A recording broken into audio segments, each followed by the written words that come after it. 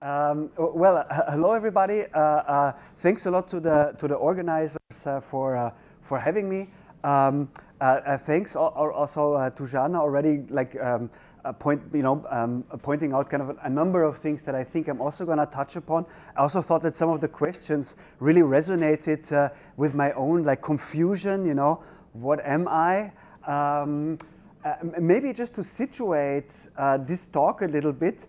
Um, I want to first apologize because I initially um, gave a, a, a, title that, uh, that was mapping values in AI. This is currently uh, my main research project. Um, but then I thought, uh, um, yeah, it may be more interesting to you uh, um, if I talk about something that's a bit more digital methods related. Um, and that is uh, a project that I've uh, started uh, working on with uh, two colleagues um, a couple of months ago. But um, actually, I was able to, uh, to gather uh, the main, to finish the main data collection just, just last week. So I thought, like, push that in. So you're, you're going to have a, the pleasure of the, well, we'll see if it's pleasure, but you'll have the opportunity to, to witness like a, like a bit of a hybrid talk um, uh, that uh, tries to combine both of those uh, things. Then the first one, you know, is going to be a bit less uh, digital methods related, but, but, but I hope to use that to also like situate some of the work that we're doing at the Digital Methods Initiative in, in Amsterdam. Um, I mean, uh, uh Jana, of course, had, uh, uh, talked about digital methods as a, as, as a, in a, within a social science context, but we are not social scientists, right? We're not at a social science department, we're the humanities departments. Most of us have a humanities background. Um, and within the digital methods uh, initiative, of course, a lot of the uh, research that is done is um, uh, you know, social science focused, so there's a, clearly an aspect there, you know, particular issue, issues and, and so forth. But, but a lot of us do um, what, what you could call medium research, right? So uh, uh, if, uh, you know, if you have read uh, uh, you know, Mac, the work of Marshall McLuhan, um, we, we try to do things like this. Um, and, and of course, uh, this becomes more and more um, not indistinguishable, but the necessity to combine with social research. So it's really hard to say something about a platform like YouTube without looking at the communities, without looking at the issues that emerge, right?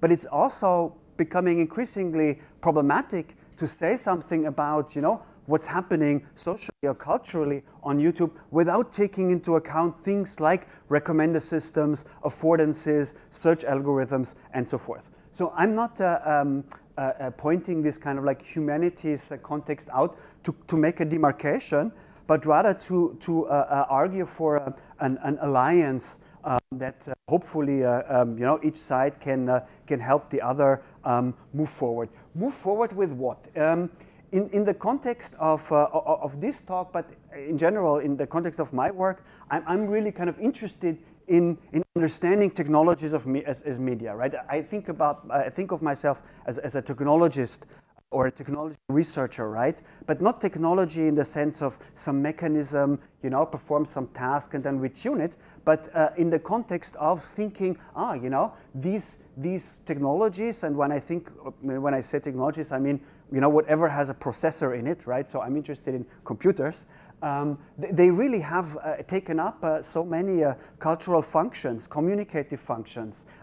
Uh, uh, they play role. They, they play um, an important role, increasingly important role in, in not just interaction, but almost in, in mediating the access to the world that surrounds us, right? And, and, and I really like to use uh, this slide uh, because that was really like a, like, a, like a moment of vindication, right? So I, I wrote my PhD uh, many years ago on the, on the, on the politics of search engines, right? So that was really kind of my main, my main research interest. And I think search engines remain, you know, like a really important part of this online e uh, ecology. And, and when Angela Merkel pointed out, ah, you know, search engines are uh, distorting our perception, I'm, I'm not a huge fan of the term distorting perception because perception, of course, is always mediation. It's always uh, selective. It always has a, you know, a substance to it but, but it really kind of put this subject on, uh, on, um, on the table, right? And uh, well, the last uh, two or three years have really, of course, you know, within the context of American politics, radicalization and so forth, but also within, within Europe, have really put this issue of um, algorithmic mediation on the, on the forefront, right? So, so, for, so for me, the, the, the challenge here is to say, okay, so how can we think about technologies as media and, and vice versa, right? Media as technologies to get to the, like the, the core of, um, of, of, you know, kind of the, the, the, substance of that mediation that algorithms are increasingly um, performing. So, so I, I, will, I will, you know, kind of come from this side and, and, um, and, and eventually arrive at, uh, at digital methods. Um, the, the thing that is really important for me when I talk about uh, technologies um, is on the one side their epistemological character, right? So, so what kind of knowledge machines uh, um, uh, are, you know, algorithms, but also, you know, all kinds of computational mechanisms, and also their normative thrust. What do I mean by that? No, normative thrust uh, is not necessarily uh, something that uh, uh, you know has to do with a like a particular like ethical value or a, a particular kind of political conviction, but the idea that uh, um, you know something like a like a chair, like a door, like architecture influences the way the way we live. So that is kind of like my main my main um, um, research research interest and increasingly uh, focused on large-scale online platforms, right? One could argue that these are, in many ways, the most developed um, and most emblematic uh, manifestations of um, what, uh, what, what Couldry and Hepp have called deep mediatization, right? This is kind of a way to describe the current situation we're living in, um, where uh, we, we, witness a deepening of technology-based interdependence, right? And, and you know, that has all kinds of, uh, all kinds of uh, consequences. So the, the first part of this talk um, um, is, is um, dedicated to a project uh, that uh, um, two colleagues uh, and I, Geoff Gordon and Giovanni Sileno, have, have started last year. Um, and it combines uh, well, media studies in, in, in my case uh, with uh, a legal scholarship and, um, and computer science. Um, and, and this, if you will, is one of the many approaches to getting a grip on what I just said, right? The role of technology within contemporary um, society. Um, and, and what we're interested in is to develop a conceptual framework on the one side, but then also a methodology that has a digital methods component um, for, for thinking about and for investigating how values, and I'm going to talk about what I mean by values in a second, between computational mechanisms and, you know, think technology uh, maybe more broadly, interfaces, uh, database structures, uh, and the human world, right? Um, and, and we particularly focus on, on how do platforms, how do those technological objects come to be, right? How is something like, like, like YouTube's recommender, recommender system, um, you know, built, designed, uh, uh, optimized, uh, and so forth. So research, design, and, and deployment. Um, we're looking, we're particularly interested in what we call assemblages of values, right? So uh, if you think about a value, of course, uh, um, very often that, that sounds like very big, you know, like which kind of values do, uh, do uh, search engines foster or, you know, which kind of, um, which kind of um, uh, principles are, um, are recommender system, uh, systems built on. But, but we mean values in a, much, in a much broader context, right? As kind of sources, sources for decision making, if you will. So, so what goes into decision making when a platform is being built? You know, when, when the platform, when design choices are being made. Um, what goes in there? And there's, of course, a lot of stuff, right? There are economic models, social theories. There are, of course, ethical principles. Um, and, uh, uh, you know, the large platform owners very often uh, push that to the foreground, right? Saying, ah, you know, uh, uh, Mark Zuckerberg is a, like a master of that, you know, bringing the world together, right? And we can, of course, laugh about that, um, but it also makes sense to, uh, to uh, think about that more, ser uh, more seriously. Experimental evaluations are, are, are, are, a part of that. So, so by values, we understand the, con the constructs used to define and justify design goals and, and decisions. And, and, then, if you will, now sounds maybe a little bit far away from kind of the topic of this data sprint, digital methods, but it goes precisely to what Jana has said before, right? Understanding the platform that, that you know, is, is, is so central to, um, to our research uh, uh, practices. Um, so besides these kind of like explicit elements for decision making. We're interested in kind of the, a wider network of what you could call, you know, technicities, but also practices, ideas, well, again, values, but also knowledges, right? What informs machine behavior and what informs the arrangement of, um, of, interface, of interfaces. Um, Ian Bogost has, uh, in an article in 2015, uh, uh, argued that concepts like algorithm, which are really heavily discussed uh, at, the, at the moment, have become sloppy shorthands, slang terms for the act of mistaking multi-part complex systems for simple singular ones. Um, I, think, I think that's really kind of like an, an important uh, framing here also, the, the way that um, this whole kind of debate um, uh, uh, you know, about the power of algorithms, um, or the power of artificial intelligence, of course, those, those terms are increasingly used interchangeably, um, uh, is very often kind of problematically focusing on like an imaginary core where everything sits, right? Um, uh, in, in, when in fact uh, all of this is, is much, uh, much uh, um, more spread out. Right? I mean, the context uh, of, of kind of my thinking about this is a bit the, the, the thought of, of, of Gilbert Simondon, indeed, um, who, who thinks about functional meaning, right? That's really kind of the core of his philosophy of technology. He says machines or technology signify by what they do, right? They don't just, uh, they're not just, you know, uh, uh, um, uh, uh, um uh, interpreted, they're not just embedded in sociality, but they have their own meaning, and their meaning is their function. Um, our research project in this case treats, um, or we have a case, right? We don't want to necessarily be limited to that, but we are particularly interested in recommender systems as something that, you know, allows us to, to bind our discussion a little bit. And, and, and for me, um, I've, uh, over the last uh, two years, um, uh, um, really focused also my empirical work on, on YouTube. Uh, recommender system, in this case, means YouTube's recommender system uh, uh, most of all, right? Um, so if we think about these, these recommender systems as, a, as, as knowledge systems, how can we capture their epistemological character, right, and understand how they, how they, how they came to be, right? Um, uh, and, and, and, of course, right, these, um, these uh, uh, recommender systems are, and there's a number of studies of, uh, uh, uh, on that, right, are, are, are really quite influential in kind of influencing what people consume, right? So there is really kind of this overlap with, uh, with social research, and in part, maybe we can indeed also repurpose them to better understand the communities uh, and the cultural phenomena out there. So again, this kind of like dual, dual um, uh, direction. Just methodologically, I don't want to go into that uh, uh, too deeply, but when you deal with an object like, like YouTube, um, uh, you know, it's, it's, it's, it's very hard to get like a serious interview with somebody working at that company, right? So this is not a, place where you can easily do an ethnographic workplace study and, and you know, kind of like interview the algorithm makers. Uh, so we're a little bit inspired by, um, by um, a methodology that uh, uh, Marieke de Goede uh, and, and, others and colleagues have called encircling, right? So they are security researchers, um, and they, uh, they say that encircling entails a lateral, multi-pronged, creative iterative approach of secret sites, confidential materials, and classified practices.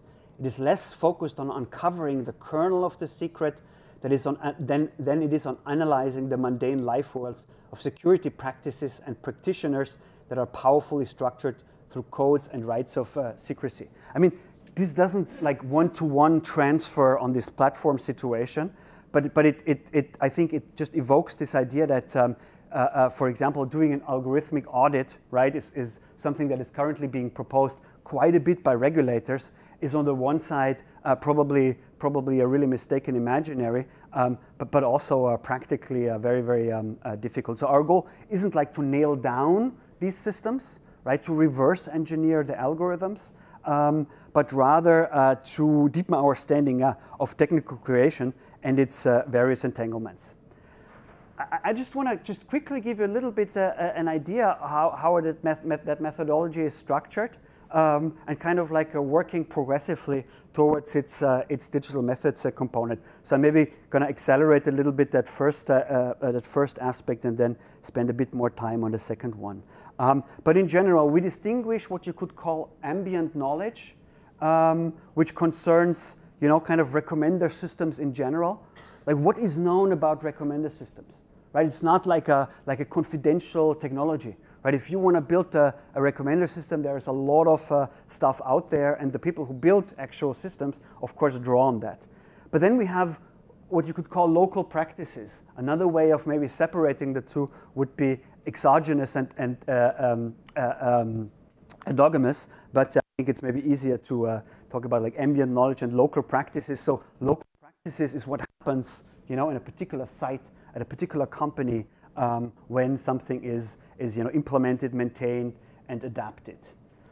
Uh, just real quick, I mean, ambient knowledge, I think this is, so, so this is really what, what you know, I've been, I've been working on over the last years quite intensive, intensively. Um, um, uh, and um, uh, already mentioned I have a, a, book forthcoming called The Engines of Order that, that looks quite a bit into things like this. What do engineers know and how, do, how do they know it? Right? What are, what are engineers, you know, kind of what, what goes into the making of a technical object? Um, and I have to admit that part of my tool building effort in digital methods is an excuse to, to program, right? Um, uh, uh, I want to know. I want to know how to build technical objects. I want to work with the code. I want to use the libraries, right? And maybe in a way that's a bit more meaningful than just uh, just uh, playing around with them. Um, so, so all of that technical stuff, those are established fields of knowledge, right? So computer scientist here, right? There's a, there's, there, there are classes you can take, right? There are books you can read. Um, uh, and and uh, kind of this first part, the ambient knowledge, uh, we've, um, we've uh, uh, um, distinguished three uh, directions that one can look at. But, but of course, it's not just it's not just purely descriptive knowledge, right? I, I like to use these terms here Hjorland, he uses uh, the term epistemological assumptions, right? So engineers have assumptions about what knowledge is and how it works, right? Um, Ian Hacking, a philosopher of science uses the term style of reasoning when he talks about different, um, different uh, uh, um, uh, disciplines. And one could, for example, even ask, what is the style of reasoning of digital methods, right? How are arguments constructed? What is admitted within the space of legitimate knowledge? Um, Alain Desrosières uses the term um, uh, uh, uh, um, epistemological ontological attitude when he talks about four ways of thinking about statistics, right? So, so it's not just kind of, um, you know, purely uh, descriptive knowledge, but, um, but indeed um, uh, uh, something that, you know, is entangled with maybe more profound and, and not always a clearly, clearly visual elements. Um, yeah, so I'm not going to go into these uh, three elements in, in, in, great detail, but real quickly, right? So when we want to learn about um, about recommender systems, uh, uh, we can, you know, we can read the literature, right? Um, I do this in general historically. Uh, uh I think that really, uh, really helps find a way into fields that have, you know, thousands of publications coming out, um, you know, over over the the last decade and um, uh, uh, working historically uh, can really, really help, right? So this is one of the first uh, papers here by uh, Resnick and Varian, where they really kind of set up the field of recommender systems. One can read that. One can, one can look at their, the, the, the, the reasons and the, and the rationales that they put forward, right? One can read like what is being problematized, to what kind of problem is a recommender system a solution, you know, according to them. Um, this is all like very, very ac uh, accessible. Um, in this case, you know, very often it's that term information overload. Uh, that is, I think, within information retrieval, which is maybe this larger field, is really the defining rationale uh, um, uh, that sits, you know, behind a lot of the motivations that are there. One can look at the, the formal constructs being used, right? So um, um, uh, uh, the, the, the notion of a feature vector, right? That's, for example, something that is, is really kind of connecting the field in many, many ways, right? So I don't have to explain what a feature vector is to a, to a, a computer scientist, but it's a, it's a very simple construct that basically is basically a valued list, right? You can say, you know, a list, a user is, is a list, is the list of songs they listen to. A song is the list of users that have listened to it. A text is the words that are in there and how often they appear, right? And the feature vector is a construct uh, that then allows for the application of all kinds of algorithmic techniques very, very quickly and very, very easily. And this is also something that, for example, we do when we use uh, machine learning in uh, social research, right? We, we design feature vectors and then we, um, we, uh, we play with them. So there's much more historical stuff to say. Um, I, I, I, really, um, I really enjoy, I have to, I have to admit, uh, reading these uh, older, older papers that are very often, they're a little bit naive, but they're also very open. They're very speculative. They're very, they're very beautiful, actually. Um, not like the, the much more black boxed texts that are, are more, more contemporary. Um, the second element that one can look at, for example, uh, uh, in these engineering practices are metrics and uh, evaluative practices. So how are technologies being evaluated? How, you know, how, how do engineers, when they build a particular system, define what is successful and what is not successful?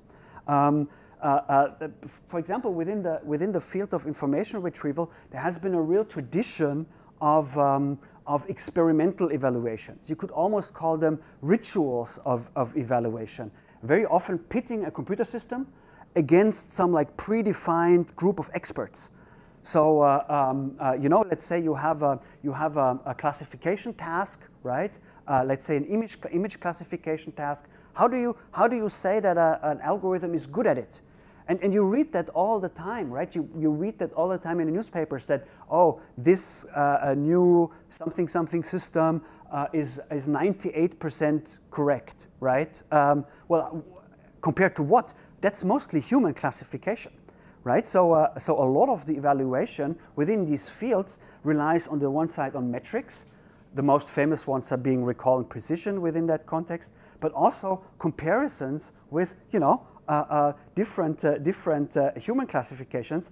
And it's quite spicy that actually in the, in the, the first of these big evaluations in the 1960s um, that pitted two groups against each other, the human groups couldn't agree uh, uh, on, on, the on the correct, you know, kind of the thing to test against, right? Which kind of shows us uh, that all of this is kind of entangled in much more complex, um, um, you know, kind of situations. Um, yeah, I mean, very, very interesting. Uh, Peter Norvig recently uh, uh, said, you know, engineering success shows that something is working, ri working right. And so it is evidence, but not proof, of a scientifically successful model. I really love that term, engineering success, right? We always, or very often, uh, um, these kind of systems are presented as, um, you know, the, the panacea of, of, of, you know, kind of like scientific purity. Well, in fact, they're really not, right? Engineering, uh, engineering uh, success is very often, you know, the result of, uh, of patchworking stuff together, but which you only half understand, but somehow it works so awesome, right?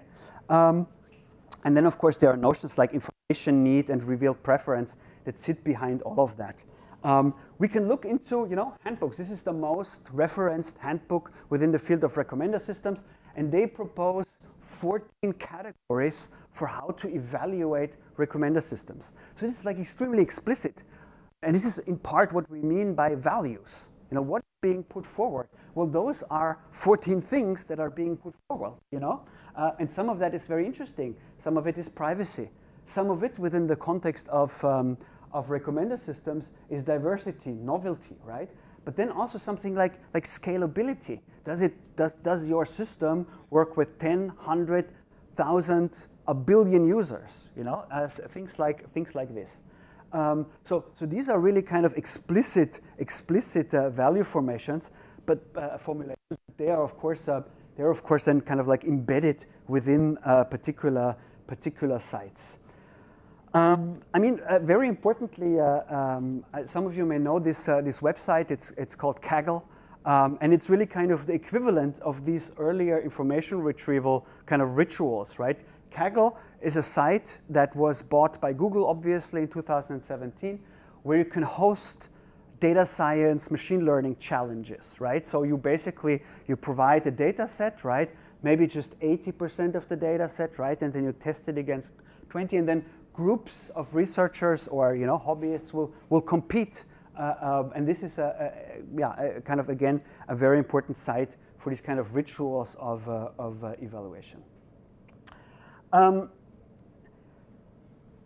Well, that term mechanology, uh, it, I'm kind of maybe using that uh, in, here a little bit in, a, in a kind of like wide understanding. But yeah, again, I'm going to make some advertisement for uh, my, my first coming book, which is called A Mechanology of Algorithmic Techniques.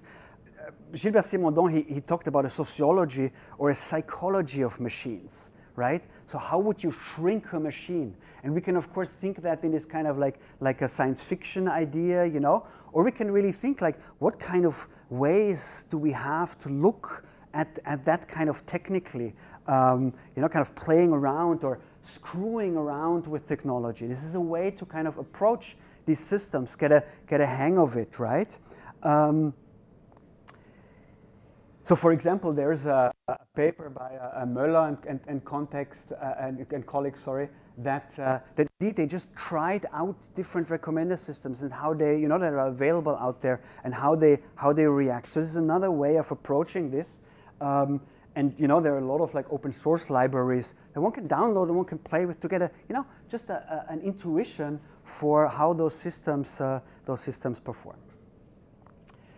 So just the, the, the, second part of the first part, so those were a little bit kind of these, these ambient knowledge elements. This is all stuff that you know exists and you don't have to go anywhere uh, and interview anybody, right? This is just stuff that is being known uh, um, uh, to, to, uh, to everyone in that field, at least in theory.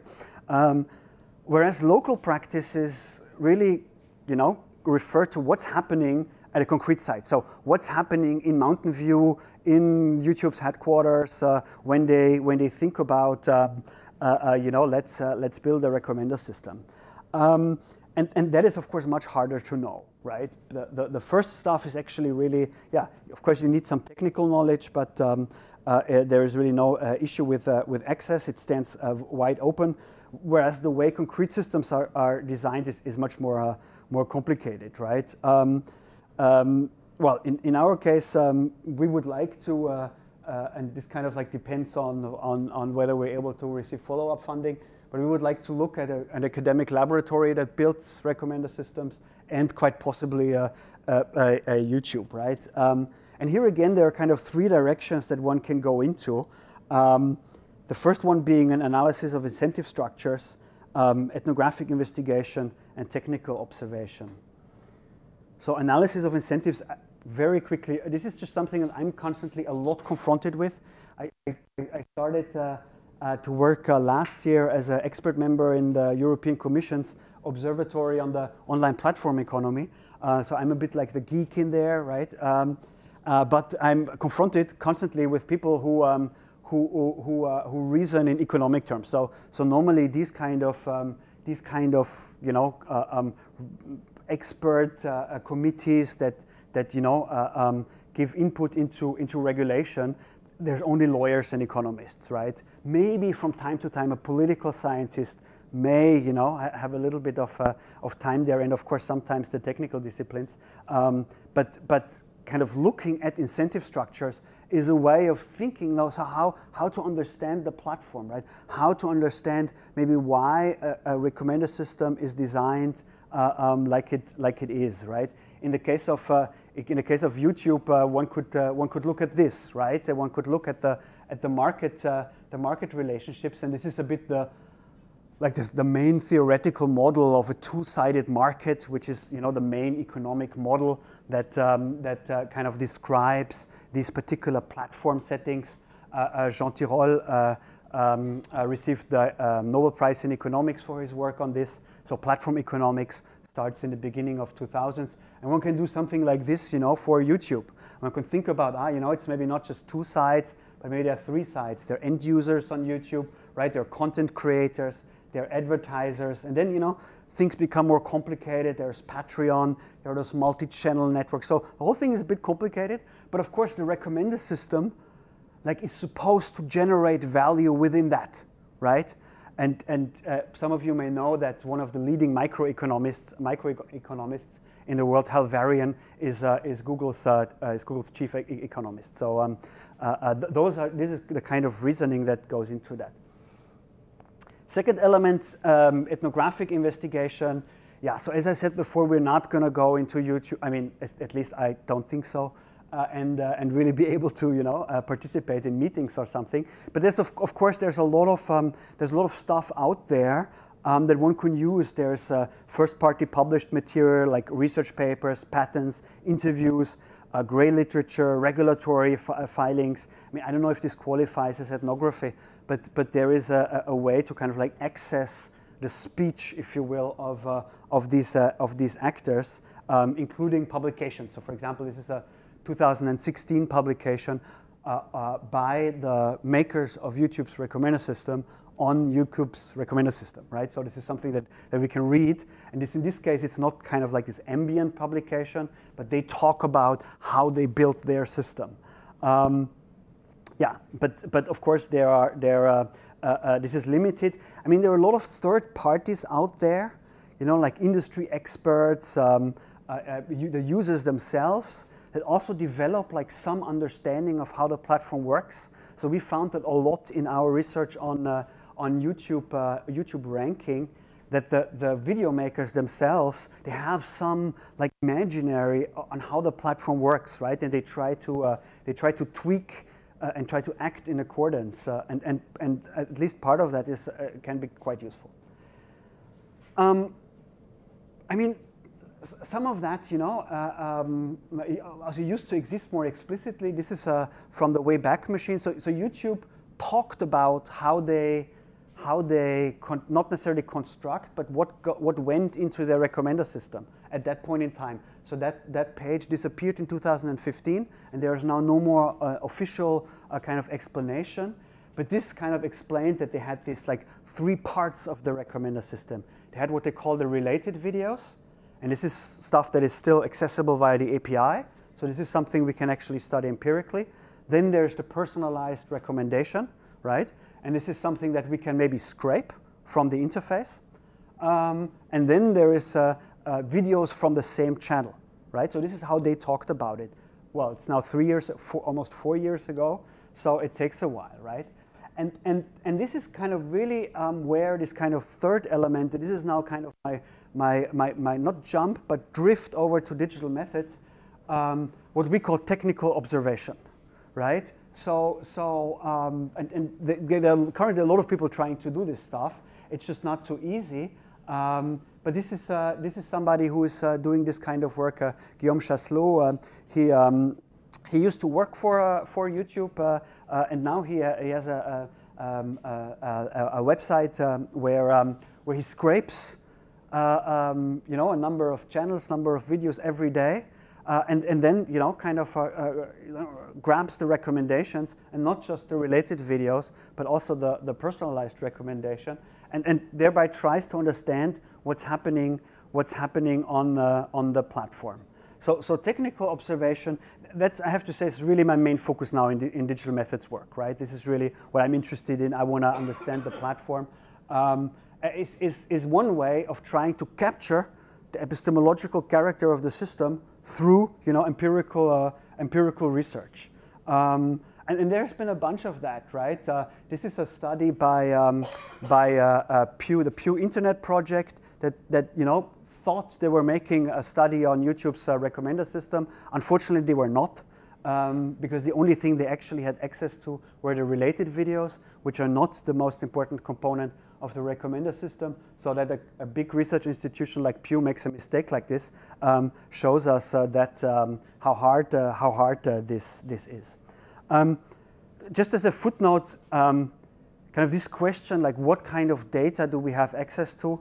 Uh, th that's really kind of the hill I'm trying to die on within that European Commission work, right? So we're really trying to push for more access to data from platforms in order to be able to do this kind of work better, right? So uh, this is not just something where you can say, you know, we have to just stand there and accept the data that is given to us, but this is something where we can say, well, we can ask for the data.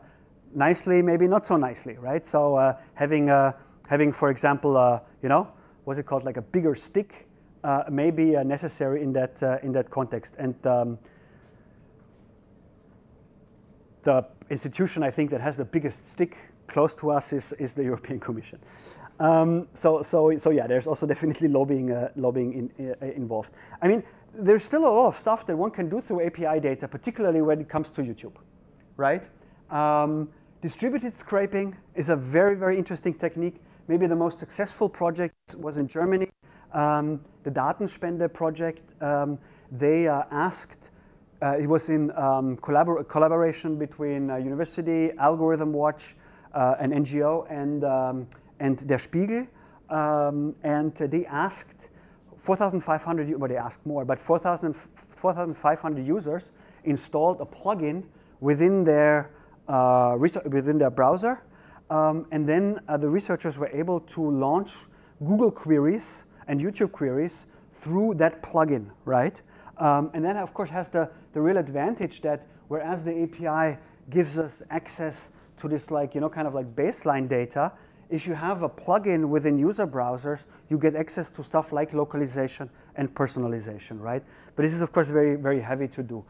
Um, um, myself and, and colleagues, uh, we try to do, um, we try to look in particularly into, um, into ranking on, uh, on YouTube. Um, uh, and here you can see um, a visualization. It's a type of visualization we call it, rank flow. And this is basically, uh, it's a very, it's actually kind of very simple what's, what's happening here. Um, these are basically seven weeks of three uh, queries submitted to YouTube's search API, right? So it's not directly the recommendation system, but the, the, the search ranking, but that is important in its own right, right? Uh, YouTube is the second largest search engine in the, in the world. Um, and every week is a, is a column here, um, and every block is a video, right? Um, the size of the, of the block is the number of views. So you can, for example, see that this thing here, you know, has a lot of views. Um, and I just want to kind of draw your attention. I'm not supposed to go that far, but I can go here. Um, uh, I want to draw your attention to this moment here, you know. There is some regularity here. This video is present. Suddenly it's gone for what, six days, seven days? and then goes back again, right? Um, and this is a little bit what we found, right? So we weren't able to re to reverse engineer the algorithm, right? This is this is I think uh, really uh, completely impossible. Um, but we were able to distinguish between what we called ranking morphologies, right? So this is uh, this is basically kind of a an, you know kind of the, the standard authority type uh, uh, ranking. Uh, this is is um, is what we called a newsy morphology, right? These were seven weeks in summer 2016 with the query Trump. Um, and there was no video in there for more than four days, right? So we have a constant churn of new stuff coming in. And this here is basically almost like Google search ranking flipping a switch, flipping a switch between kind of like a more standard, uh, standard mode and then kind of this, this newsy incursion here, um, which in this case for the Syria query were really like really strange videos. We call them war porn. Um, uh, this is just videos of war machinery operating. So it's just like rockets launching and, and stuff firing, right? It's just machinery. Um, so, so this is a way of, uh, of you know, kind of um, um, on the one side, of course, uh, uh getting closer to, you know, understanding how the platform works, if you will. But, but it's also kind of interesting for, from a digital methods perspective. Because of course, if you use search as research, and you know, as Jana said, you use queries in order to go into, uh, into YouTube's uh, like massive video, well, you're confronted with this, right? You're confronted with the fact that this changes quite a bit, and that should, of course, give us pause. I mean, there's much more stuff that one can do. Um, uh, um, a student of mine um, worked a little bit on um, on um, uh, uh, Spotify, right? Uh, so there's some some excess excess there. I thought that was a really interesting interesting research into their recommender system, which basically allowed him to show that um, that YouTube's sorry Spotify's recommender system pushes into the into the details, right? Pushes pushes deeper into the catalog rather than you know towards the most popular uh, uh, stuff. So I think that's an interesting um, uh, it's interesting research. But um, I want to maybe uh, um, mm, kind of now use this, uh, this, this beginning of, you know, kind of something more empirical to engage uh, uh that empirical side more, uh, more properly. Um, but just some, uh, some intermediary conclusions, right? Um, so in, in, in, this kind of mapping mapping values project, um, we, we're on the one side, of course, interested in the social in the you know social embedding of the construction of these recommender systems, um, but we're also really interested in the technicity itself, right? So for us, it's not again kind of values doesn't mean that some human thing goes into technology, right? Technology itself is, is, is, is you know, kind of uh, uh, drives uh, and produces like normativity and, and value statements. Um, so, so, indeed, normativity is not exclusive to moral reasoning, right? I think, think that is very important. Um, um, and, and I think what a lot of this like practical work and particularly our project on ranking uh, has really shown um, is, is um, mm, that, uh, you know, in all of this, we can also not kind of ignore that, like what's being ranked, right? So I think that is also very important. Of course, the clear outcome in a concrete system are kind of like negotiations between that ambient part and that, that local part. And, and to understand what constitutes like a good recommendation for YouTube, one has to look into all of that. Um, but to, to follow this now, a little bit a little bit deeper into the into the rabbit hole, I want to talk to you about a, a, a project that uh, has been you know has been in has been simmering quite a quite a bit uh, quite a, quite some time, and it's a bit uh, it's a bit of follow up to to this project. Um, so this project I did with um, uh, two researchers, uh, uh, Ariadna Matamoros and Oscar Oscar Coromina, um, and um, mm, this mapping mapping YouTube project is also a collaboration with these, uh, uh, these two uh, researchers. Um, and, and again, we started a little bit from this Bogost thing, like, you know, algorithms, no, it's, it's systems, right? Um, um, and, and, and, and, YouTube obviously isn't just its recommender system, right? There's much more happening on there, right? One could do many different things. One could do an interface analysis. One could do, you know, kind of all kinds of things. But one may also be interested in, in, in the actual outcomes of these socio-technical processes. And by outcomes, I don't mean like social effects, but rather what is, it's a very naive question, what is on YouTube? Right? What, what, what's there? What is finding an audience? Um, and, and, and, basically what we're trying to do is, if you will, uh, is, is, is, is document the state of the full system. Of, of course, it's a, it's a partial you know, view and, uh, and you know, uh, it has its, its own limitations, but it, it includes, if you will, not just the technical part, quite on the contrary, much less the technical part, but basically the outcome of this distributed um, uh, system, which includes, you know, the technical and also publics, cultures, vernaculars, issues, dyna issue dynamics, national dynamics, uh, um, and so forth. So, so so this is kind of another attempt to say, what can we say about YouTube empirically, you know, through data collection? Um, we cannot easily look inside of the machine, but what kind of knowledge can we, uh, can we generate? Um, so, so what is on YouTube? That's our basic, uh, basic question. Um, uh, um, well, and there are all kinds of like sub-elements, right? What, what are the themes? What are the contents? What is the structure of all of that? We have some elements of reception maybe in, in the sense of, you know, audiences, uh, uh, you know, watching certain things, others not. Monetization, really, really important. Um, so, so, so this, this project, um, it, it takes a bit uh, um, a, a, different perspective in the sense that it draws quite, quite a bit on this like critical uh, media, uh, media industries research. There's also stuff like production studies, right? So, so our focus are YouTube channels. So uh, these are not the only way that, that you know, videos find an audience. Of course, every video has to be attached to a channel, but it doesn't necessarily mean that, um, that you know, every video is then uh, uh, you know, kind of, kind of uh, connected to the destiny of that channel. People make ad hoc channels just to push, to push a single video, but, but you know, kind of this connects a bit to this critical media industries uh, production studies perspective. And also I think to, um, to Chadwick's notion of, um, of a hybrid media system. Andrew Chadwick, I think he gives a, a talk on the 10th of February uh, uh, here in Lisbon. Uh, I highly recommend uh, going, going to see that. Um, um, a hybrid media system where, you know, it's not just, not just like one actor, but a lot of different actors. Um, and I think with YouTube, one can really see, for example, institutional, like established actors versus native actors and so forth. and the wider notion of culture of connectivity is, of course, very important. So this is an explanatory data analysis project. So we don't start with research questions, right? Um, this may be shocking to the social scientists, uh, but we have our patron saint here, right? Uh, John Tukey, who, by the way, invented the term software. Um, uh, uh, and he wrote a big book called the Explanatory Data, Exploratory Data Analysis, um, where, where, of course, we have intuitions, we have interests, but our questions, they develop from the interaction with the data.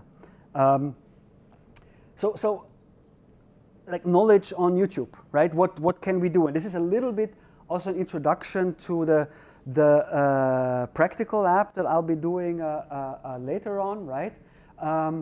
Uh, we, we can do a bunch of stuff, right? We can, uh, we can of course, um, you know, formulate research queries and then, you know, submit that to, um, to um, the, um, to the um, uh, uh, the, the, well, the interface directly or via, via uh, you know, kind of available tools to the, to the API. And this is, of course, a way that we can get out uh, data, right? And we, we have to think about, okay, what to do with the ranking, right? But if we want to uh, know something about uh, how a particular issue is dealt with on, on YouTube, we, you know, querying is, is, is definitely a, a, um, a good way. Um, in the case of something like Twitter, we have this highly interesting thing, which used to be called uh, the 1% uh, uh, sample. It's now called uh, um, the, the, the, the sample tweets API, right? It's still, it's still, um, uh, it still calls itself a small random sample, right? And if it's truly random, it means it's representative. and this is, of course, a really awesome thing. But of course, we don't have that for, for YouTube. I mean, I would love to have that. I think I think that should exist for every platform um, because this would give us, you know, a, a way of, of making like overall, uh, overall assessments. Um, but a very common strategy when it comes to, you know, data collection from online platform, uh, from online platforms ha ha has been crawling. Um, crawling is uh, something that, um, you know, has been particularly big in the, like the early days of the web. It's a little bit, uh, a little bit of hi history here. I, I, don't know if anybody uh, ever used a Navi crawler. No, but this was really kind of the start of. Um, uh, so, so this was a, a tool uh, uh, developed in the Web Atlas research group that also built uh, built Gephi. Um, that was um, headed by by the late Franck Ghitalla, who really started all of this. Um, and, and Navi crawler was a was a, a, crawler that an interactive crawler right? That where you could um, start crawling, then pause, then put, you know, throw some stuff away, uh, put some new seeds in, crawl again, right? So it was really like a, a qualitative crawler. And uh, the Media Labs uh, Hyphe, Hyphe uh, crawler, which is now their state-of-the-art thing, is very much built on the legacy of, of that. And, and you know, crawling is something that we can use for, for YouTube as well, right? So we could say, hey, channels, they are connected to other channels. For example, they feature them or they are subscribed to them. And there are a bunch of tools out there that allow you to do that. So there's, for example, a tool called the YouTube channel crawler, right? And you, you start with one channel or five channels, and from there you can, uh, you can uh, uh, you know, then, you know, establish a network of, um, of uh, uh, channels. But, but, but again, you know, you, you cannot, these tools have real limitations. The, the YouTube data tools that, that, that I built, um, they also have their, you know, there's like memory limitations, also like pretty shoddy software, just saying. Um, I should know. um, so, so, so you can't like crawl the whole platform, right? Um, so kind of another inspiration for that project um, uh, what, were those attempts in the, in the late 90s to crawl the whole web, right? So, so, so these systems, right, they're always very issue driven, right? You, you start with a particular case and from there, you know, you, you, you, but, but these people here, they try to, to crawl all of the web, right? And, and does anybody remember this? Yeah? The bow tie structure of the web. It was actually a big, it's from this paper by Broder et al. that came out, well, 20 years ago.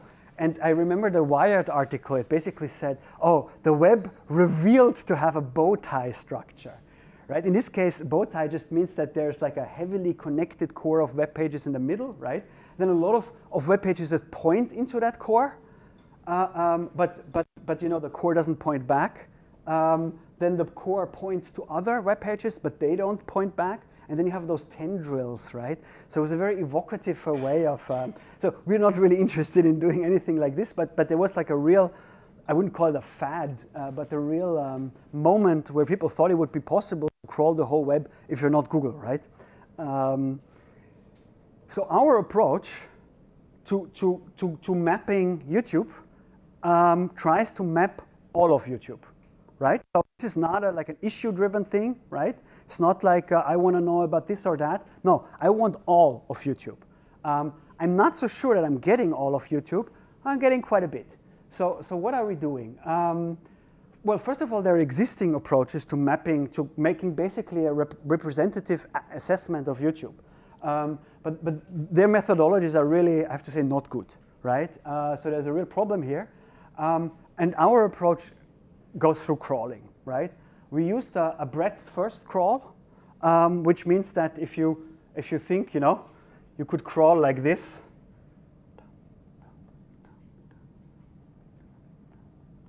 That would be depth first, or you could crawl like this. Right? That's breadth first. And well, the difference has some importance, but it's maybe not so, so important here. We're starting from a single seed, a single channel. Uh, it's the Vsauce channel. It's completely irrelevant where we start from uh, in this case, actually because we, we go into a giant component.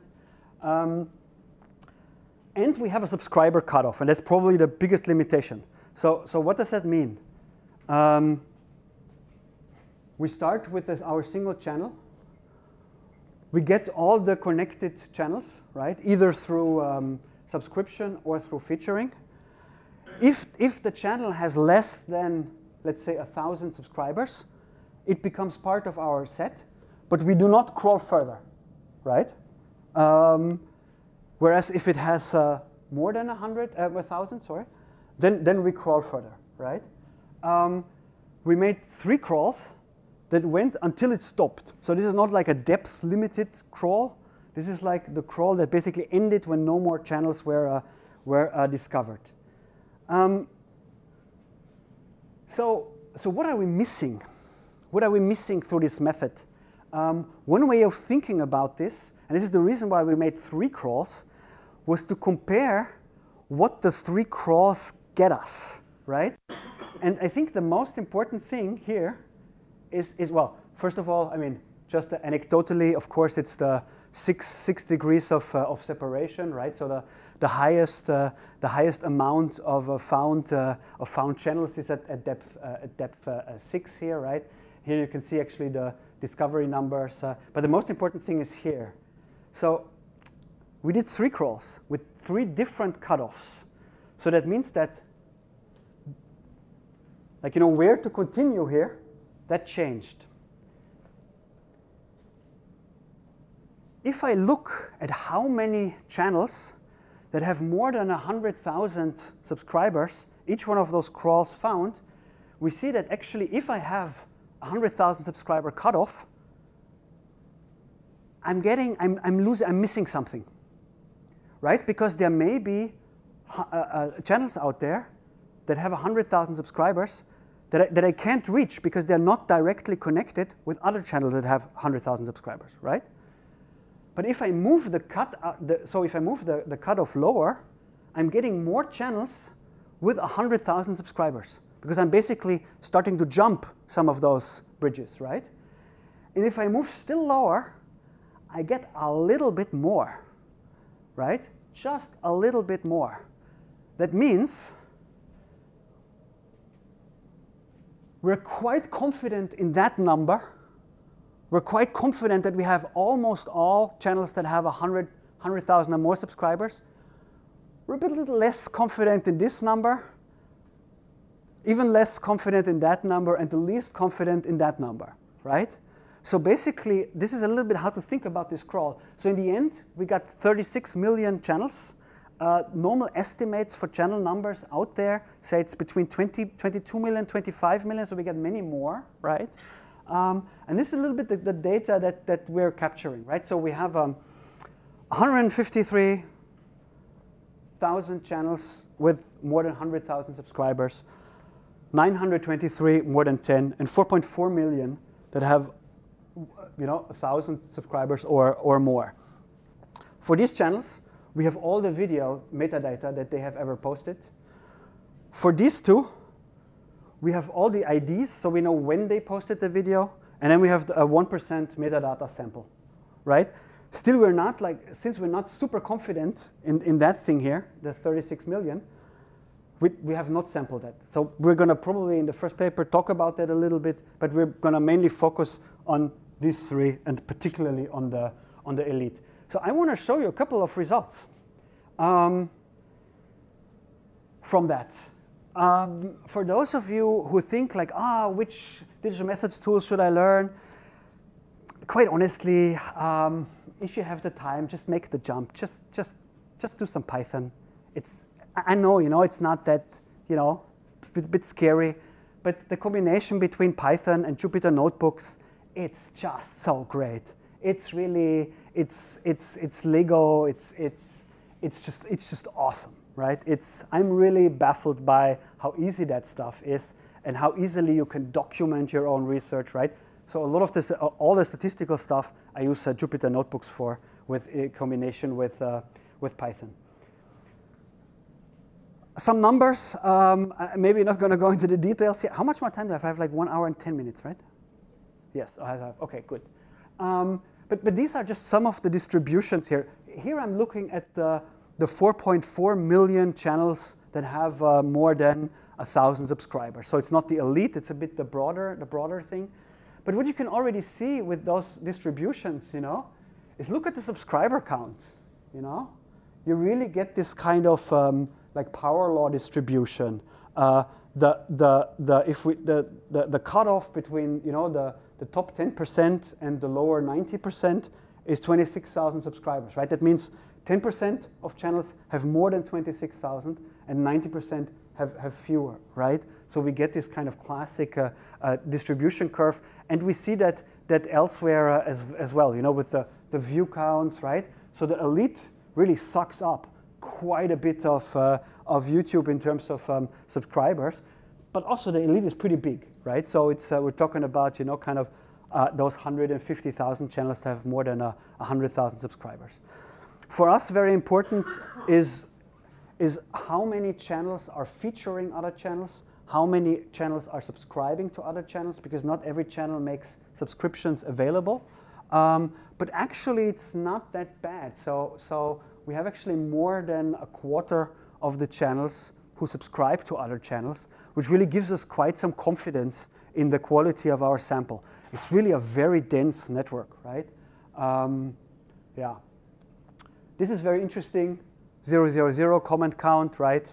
It's a field in the API, but it's not, there's no data coming out. So that's also part of digital methods work, right? No data coming out. Um, so since we have um, you know, video, video metadata for the elite, and here I'm looking just at the elite, we're able to do stuff like this, right? So those are the 150,000 150,000 channels. So that's the elite. So whenever I say elite, it's the 153,000 channels that have more than 100,000 subscribers. That's the elite. And they posted in the history of their existence 140 million videos. And here you can see the growth pattern.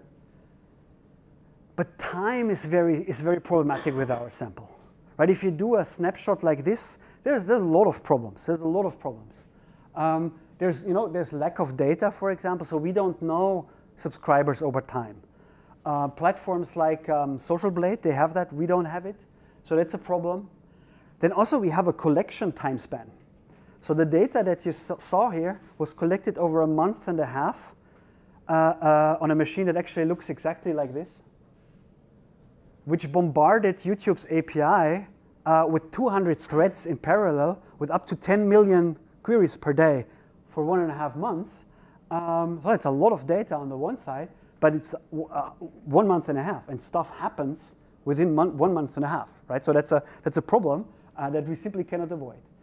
Then there's just deleted channels and videos, right? That YouTube is constantly, you know, kind of cracking down uh, on, uh, on channels. So, so this snapshot character makes all of these things a little bit tricky because this in, in many ways is already like, you know that term survivorship bias? Those are the channels that basically made it, you know?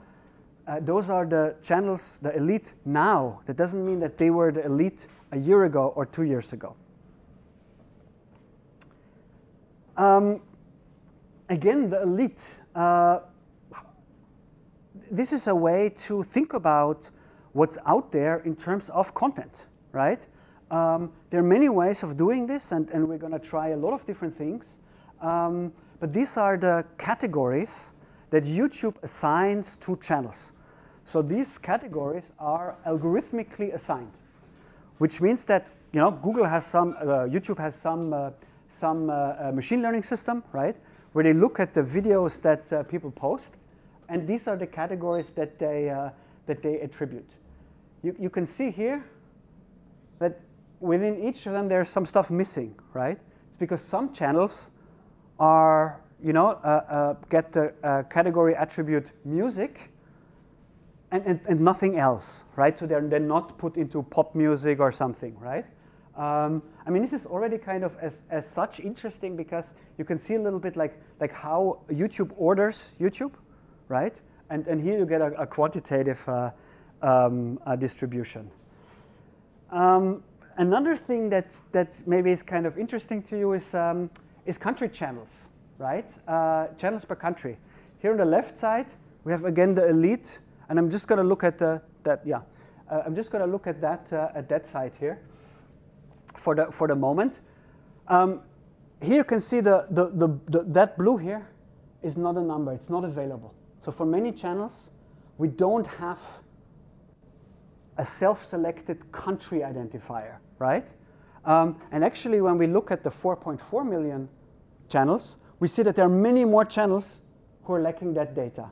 So already we can see that in general, those elite channels, they make a, like a bigger effort, right, on all the levels, not just making more videos, making better videos, but also better metadata and so forth, right? Um, we can, of course, see, you know, biggest, biggest US, India, and then, of course, as always, Brazil, uh, this beautiful social media dystopia. Um, I'm sorry, it's, it's, it's at least halfway through, right? Um, uh, so, uh, so we got that. Um, uh, and um, uh, then we have like, you know, the other, so the top 10 is already more than, than two thirds of all the channels, right? And then we have, we have a bunch of other, a bunch of other things. Here I basically removed the not a number, so it's the same thing, but, but one can see this a little bit a little bit uh, uh, uh, easier. Um, here, we are kind of really interested in thinking more deeply about um, how to deal with countries, and we're preparing a machine learning approach to, to basically filling up that data based on language analysis and network analysis. But uh, that's a little bit uh, different. Here's a, here's a um, yeah, I hope you can see that. Here's a, a, a network of the um, the uh, elite again, so the 153,000 uh, channels, uh, colored by country. And, and one of, but there's a number of interesting things. I mean, the, the first one is actually Brazil is the least connected to the main core, right? Whereas a lot of the other countries are quite strongly connected with what happens here in the middle, which is English language channels. Brazil is probably the one that falls out the furthest, uh, which I think is quite, uh, quite interesting. Uh, India, for example, is also a little bit uh, uh, disconnected up there, and then you have got Russia here. Uh, um, um, yeah.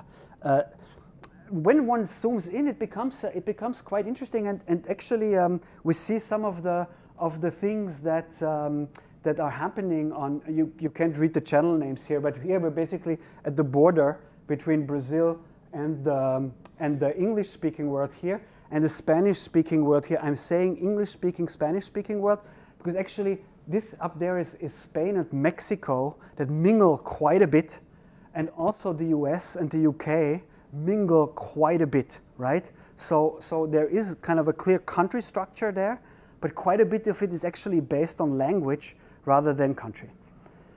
So if you have ever worked with, uh, with Gephi uh, in, um, with uh, you know, a lot of uh, a lot of uh, uh, data, you know that it's, this is really the limit of what you can do. So, so we've moved, and this is maybe an interesting tip for the programmers here. So we're moving to, uh, to this library here, GraphTool. It's a programming library. It's a, um, it's a C. It's written in C++, so it's very fast. It has a, a binary memory format, so you can. It, it, it allows for roughly between 10 to 100 times more data than, uh, than Gephi, um, but you have to uh, steer it uh, um, through, uh, through programming. And, and, this is a way to then generate many more metrics, but here we're really at the beginning. Kind of the last two things, uh, maybe those are currently just ideas where we want to go to. Um, we're particularly interested in things like controversiality. So what can we inject back? Which kind of variables can we generate?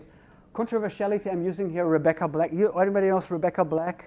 Yeah, Fr Friday, there was a catchy tune. Well, it's, the, it's a, a, a video that has 3.6 million downvotes versus 1 million upvotes, right? And, and, this is maybe a way that we can detect controversiality, and we want to overlay controversiality with subject matter, right? So uh, one of our hypotheses here is a lot of YouTube channels thrive on controversiality. Controversiality is a means to construct and, uh, uh, and keep an audience, right? So can we do that? Another way is audience activation. I think it's very, very interesting. So for example, uh, Rebecca Black, she has uh, 1.4 million subscribers, but this video from three weeks ago only has 11,000 views, right? So that's, for example, a way that one can think, is a channel able to basically address their own audience, you know, their, their own audience defined as subscribing to, uh, to them. So, so there are all kinds of like metrics that one can generate. And, and then maybe the most interesting thing to me and, and, and maybe the most difficult is we want to try and operationalize like monetization tactics strategies by analyzing the, the, um, the uh, video descriptions, right? For those of you who are um, YouTube users, you know that YouTube creators put a lot of like links, well, as you can see here, into, into the description of every video, right? Um, and a lot of that has to do with, you know, connecting to, uh, to social media. You have that here and you have that here, right? Um, but a lot of that actually connects to sites like Patreon, PayPal, um, uh, and then, for example, here, gear. So that's from a tech channel, right? And it's a tech channel that basically gets a small commission for every sale that is being made when somebody you know, clicks on the links and then buys it, right? So, so this is something we've made some early attempts. One of the difficulties is that these are shortened links, so we have to follow them, but this is, is relatively doable.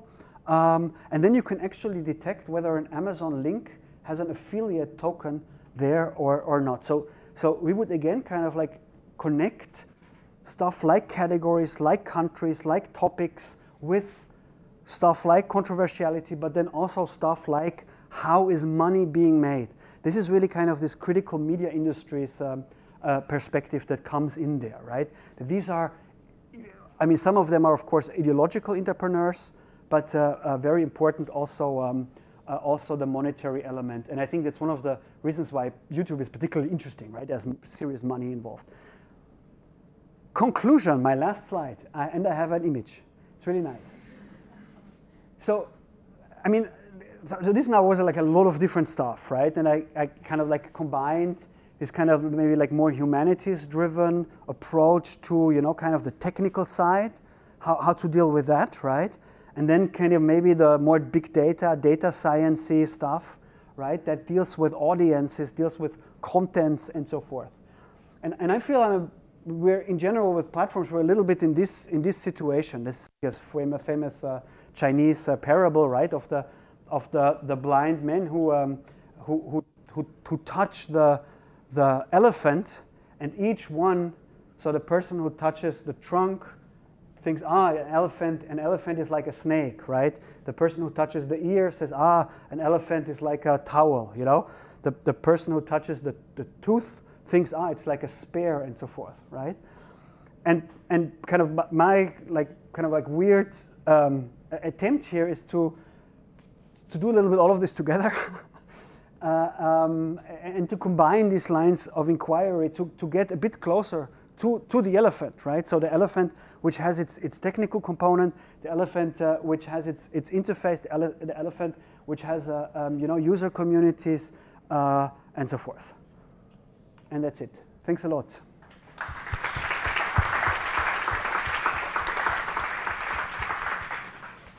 Thanks so much for bringing so many dimensions together and also like for helping us to try and grasp this interface or intersection of actually theory uh, and practice. Also, I'm sure there are a lot of questions. Please.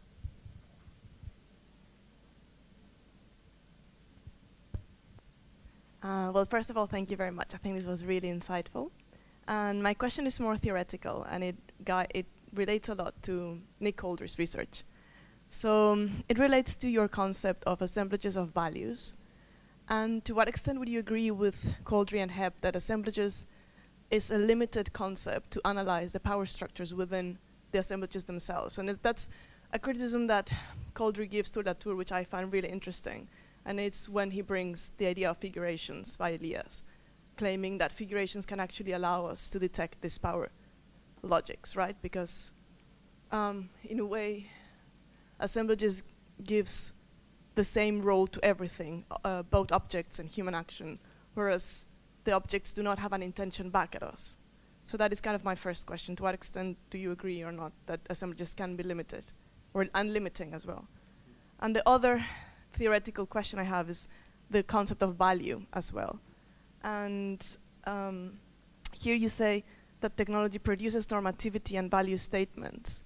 And is technology alone producing such normativity in, in terms of who's giving value? When you give value to something, there's again like a power logic embedded in this idea of something being better than other, right?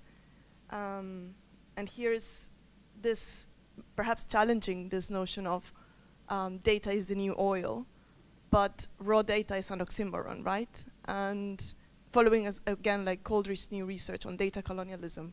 Um, and if we think of the analogy of data is a new oil, oil is found in nature, whereas data is not. So there is, again, this kind of, kind of how can we foreground again the sociological thinking into this empirical, the fantastic empirical work that you're doing, and yeah, so more or less thinking about these assemblages of values.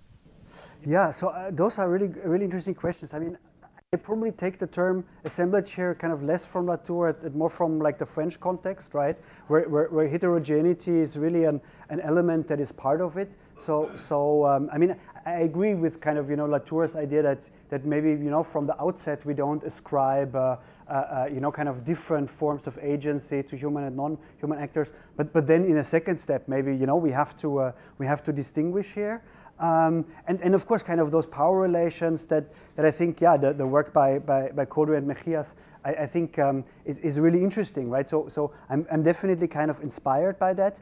But here we take a little bit of a step back in that research, particularly in that, in that uh, uh, first part, because, because a, a, lot like very quickly jumps to the, the big things, right?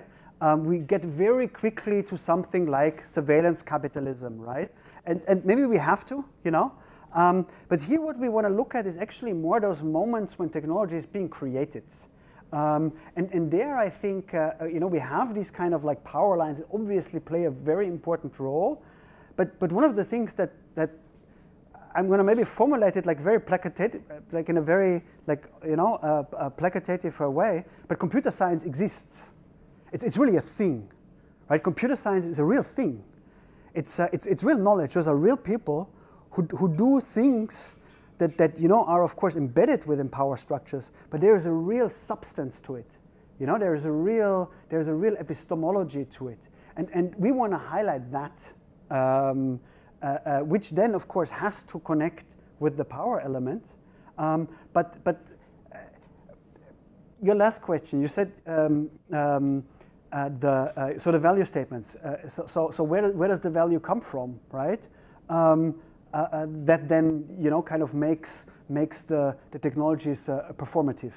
Um, of course, in part it comes from those you know capitalistic settings, but in part it comes also from an engineering tradition that has that you know is is of course not, not isolated, but that that you know has really been constructed in a particular way, and that also distributes value that isn't immediately monetary value, right? So, so, if you will, there's also, I think, and one can think about this through a power lens, right? Computer science, for example, is a very gendered space. You know, there, there are all kinds of power structures within that space. but maybe to just to summarize, like I think we want to kind of kind of kind of bracket some of that stuff before it becomes too quickly the big the big things. You know, it's more like a micro micro thingy thing. You know.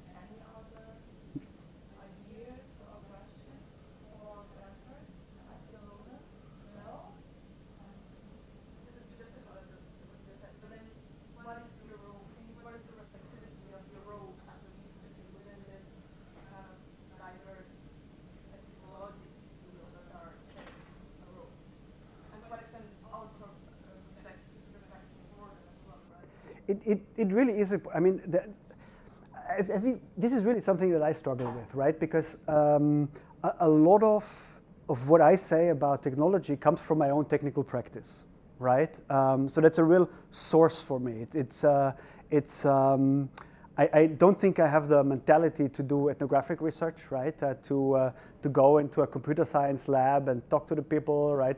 It's just not, it's just not my cup of tea, right?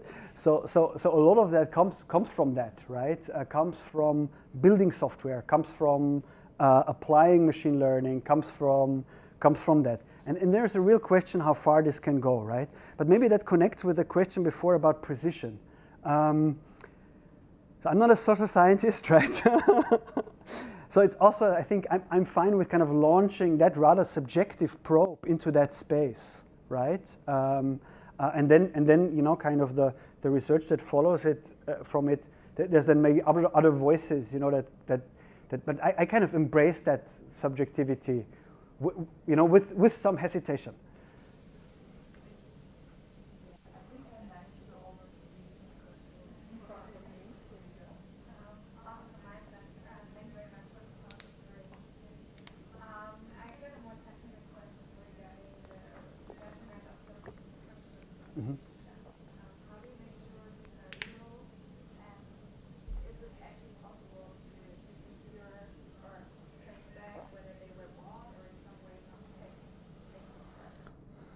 Yeah, that's a good question. The, the, thing is, I don't distinguish.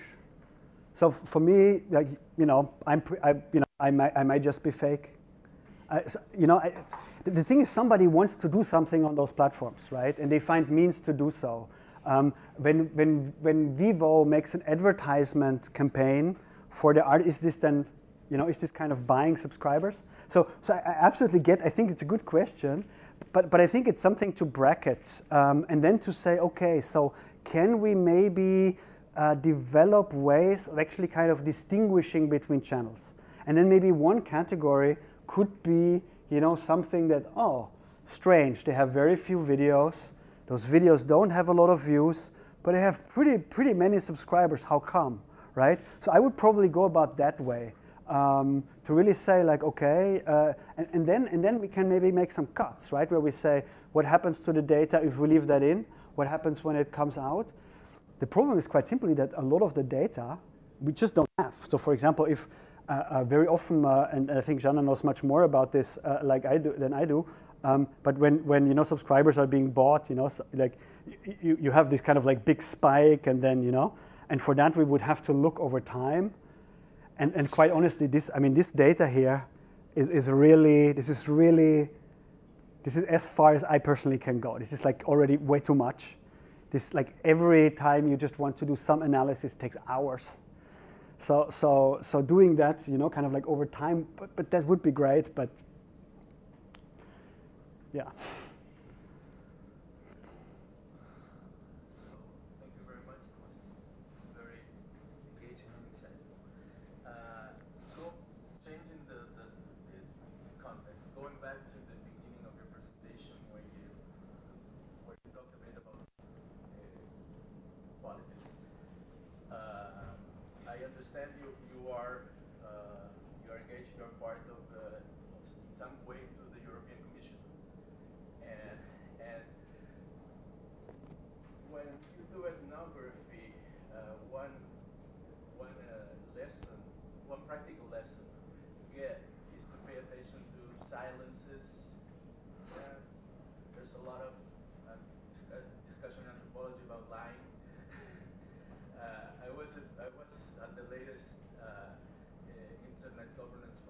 Mm-hmm.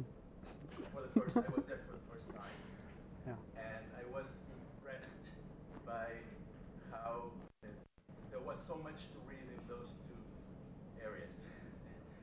uh, so, uh, in your experience, uh, from your political point of view, or, or, your experience, uh, how do you deal? How do how are regulators dealing with that? The- mean, I think this is really interesting, and, and I'm still a little bit under shock, right? Because I'm also not, you know, I'm, I'm not a legal scholar, I'm not, you know, so I'm, I have a similar impression. Uh, so I've, I've now, you know, been doing that for a couple of years, going to Brussels, and, and, and, and I mean, the first thing that I, I noticed is that th- there are quite different venues within these institutions. If, for example, you talk with the, with the commission, you mainly talk with technocrats that are, you know, kind of like tasked with generating knowledge, right? And here you can really see that the commission lacks knowledge. There's a profound information asymmetry between the platforms and the regulators. So, and in order for the regulators to have to get the information that they need to regulate, they need to ask the platform providers for the data that then the regulators will use to regulate the platform providers. I mean, that doesn't sound like a very healthy situation, right? So, so, so that's kind of like part, part of that problem. I think the Commission is profoundly um,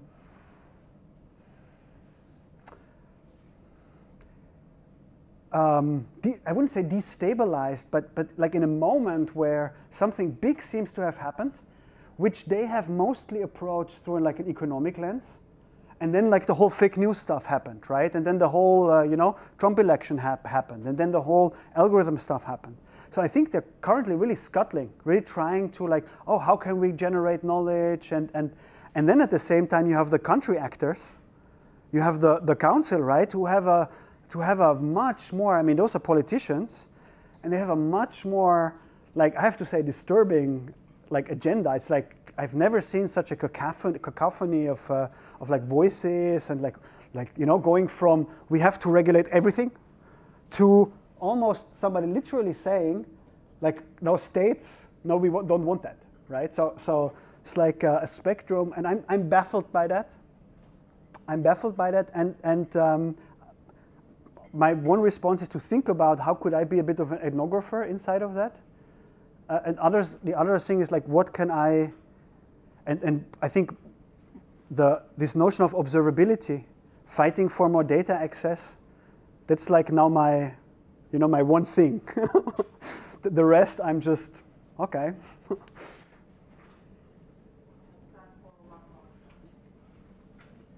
Um, well, it was amazing to see uh, all this data that you collected from uh, YouTube.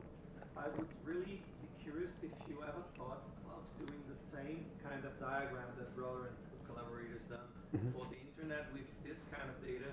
Uh, normally in Brazil, when I talk about this, I say that's uh, a kind of a candy, you know, gra- diagram because you have a central point of it that's the candy Yeah. is, and the other parts are just, you know, parts of the twisted candy.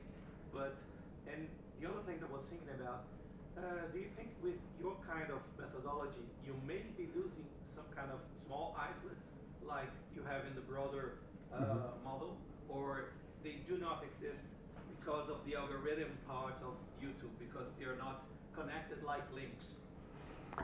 Yeah, I mean that's that's really interesting stuff. Uh, maybe I start with the first part. Th- there's certainly stuff we're not getting. Um, I actually tried to run the crawl without any kind of cutoff, and the numbers were getting very quick, very very rapidly uh, into a terrain where you know uh, just my small computer can, can, can, cannot deal. And um, but the problem then is that um, on YouTube, everybody's a channel, right? Every user is a channel. You put on one, one video, you're, you're a channel, right? Um, so, so I think the, the decision we made is to say, okay, we're, we're kind of dealing with that cutoff um, in, a, in a way that we focus more on the top, where we have more confidence the, the problem is, I think, when you get that, when you really try to get down into like all of those, you know, maybe maybe like entrepreneurial uh, attempts to cheat, you know, or to I don't know what to, you know, the, the, that that question about faking. I think you need a different infrastructure. You need you need a different yeah, research setup. Um, and, and I think you will find something quite uh, quite also complicated to, to deal with. So that's that's how I'm copying out from your uh, from your question. Um, we had to make that choice basically. Yes, but we had to make that choice. And and then the structure. I mean, I'm so so I haven't been able so far to, to plot like the whole 36 million uh, because that's no longer possible in Gephi. Um, and even with GraphTool, uh, it, it's probably running several days. Um, so, so I have to look into how to do that. My suspicion is that what's going to be particularly interesting is maybe not the structure in terms of, because one of the problems is for a lot of the channels we don't get the subscribers, right? So there's this like hidden hidden structure that, that we can't really get at. Um, and, and so that's, that makes me a little bit hesitant to talk about too much about that. But I think what we can get at, and that's going to be very interesting, I think, is, is to try and juxtaposition the countries and the topics right? Because at first, at first glance, and that's the, the, the one thing that I showed, the, the, the country seems, to, the language seems to be very strong, but then to kind of see how we can kind of, you know, uh, uh, kind of, you know, connect and disconnect that could be, uh, could be, could be very interesting. I'm not sure whether that, I mean, we'll, I, I think I'll try to do the, the bow tie thing, but first of all, I'm not sure whether i will be able to. And, and then I'm, I'm, not sure whether it's going to what, what it's what's actually going to say you know? Yeah because ultimately it's not like the web you know there's something really quite different to the to youtube yeah okay great uh, i suppose uh, Unfortunately, now we have no time for even more uh, questions, but you uh, can talk to Bernhard. We all can talk to Bernhard during his uh, practical labs uh, on YouTube. Um, thank you again for to Bernhard and to Janne for this first uh, uh, session.